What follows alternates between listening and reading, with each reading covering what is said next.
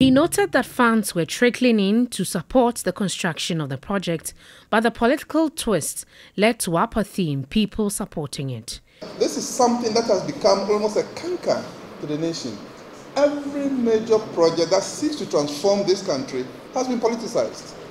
Uh, and, and what we are hoping is that as a project that touches 70% of our population, Christians, that hopefully maybe the conversations around this will begin to help us to depoliticize most of these things. Issues. You need to call some of the people politicizing these issues to order. He, however, disclosed plans are underway to build a technical platform to acknowledge and appreciate donors to encourage more Christians to donate.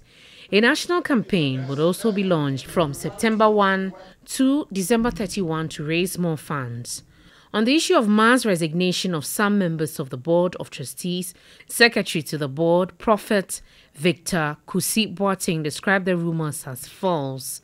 The only person that had indicated that he, for personal reasons, for personal reasons, he wanted to stay back was Dr. Mensa Otabil.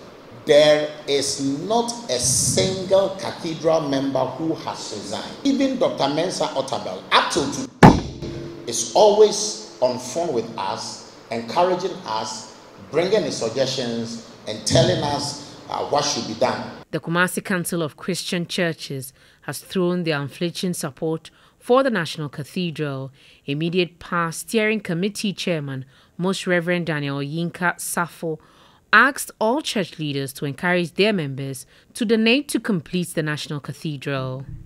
We appeal to heads of churches in the Ashanti region to mobilize the church through means that are comfortable with their particular tradition to raise funds for the project.